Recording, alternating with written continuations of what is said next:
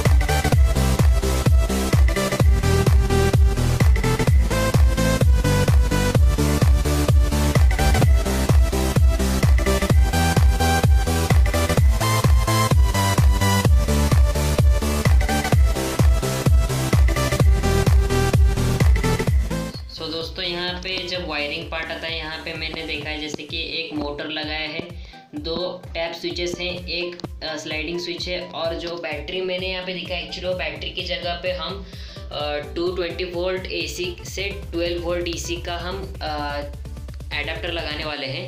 और यहाँ पे आप जैसे देख सकते हैं कि यहाँ पे जो दो स्विचेस हैं वो उनका एक एक कनेक्शन मोटर के पॉजिटिव टर्मिनल से लगा हुआ है और आ, और उनके जो दूसरे एक एक कनेक्शन है, वो इलेक्ट्रिक जो मतलब 12 वोल्ट के है, उसके एक पॉजिटिव और नेगेटिव टर्मिनल पे लगे हैं। और जो दूसरा स्लाइडिंग स्विच है, वो हमारा जो एक नेगेटिव मोटर के नेगेटिव वायर से स्लाइडिंग स्विच के जो सेंट्रल कनेक्टर है, वहाँ पे लगा है। और स्लाइडिंग स्विच का जो लेफ़्ट साइड का कनेक्टर है, वो बैटरी या फिर जो हमारा इनपुट है, वहाँ, उसके पॉजिटिव टर्मिनल और दूसरा नेगेटिव टर्मिनल में लगा है। मोटर के बाद जो दूसरा हमारा मेन वायरिंग का पार्ट है, वो है नाइक्रोम वायर का, क्योंकि यही एक चीज़ है जो हमारे थ्री पेन में हीटिंग एलिमेंट की तरह काम कर रही है और मैंने इसको ऐसे नॉर्मली लगाया है।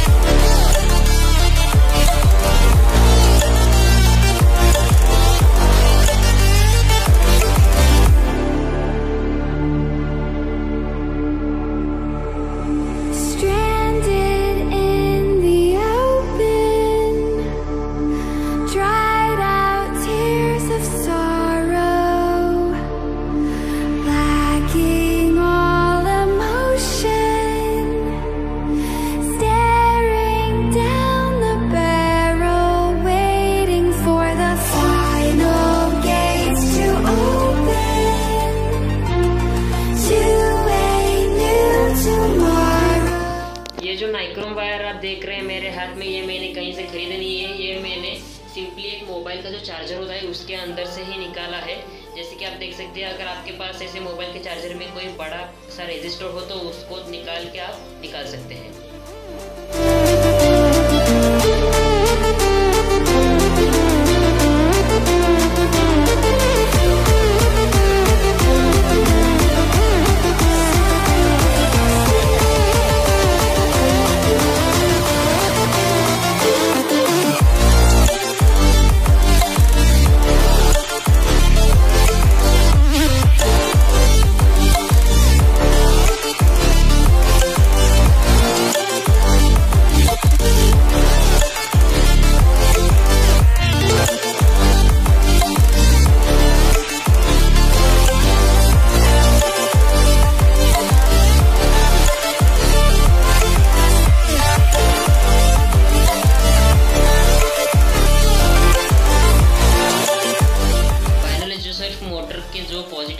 नेगेटिव के जो दो वायर थे, उसी को मैंने नाइक्रोम की भी दो पॉजिटिव नेगेटिव को ज्वाइन किया।